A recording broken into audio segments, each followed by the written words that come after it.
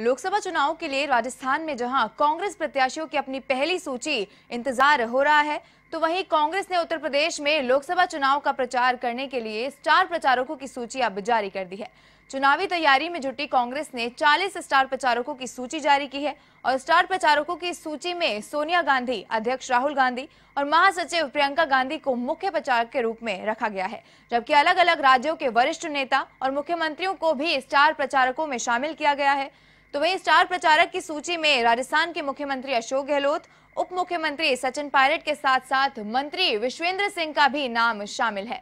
आपको बता दें कि कांग्रेस की सूची में मनमोहन सिंह मल्लिकार्जुन खड़गे ज्योतिरादित्य सिंधिया राज बब्बर अजय कुमार लल्लू मोहन सिया किदवई गुलाम नबी आजाद कैप्टन अमरिंदर सिंह कमलनाथ भूपेंद्र बेगल शीला दीक्षित भूपेंद्र सिंह हुड्डा नवजोत सिंह सिद्धू सहित कई नाम इस सूची में शामिल किए गए हैं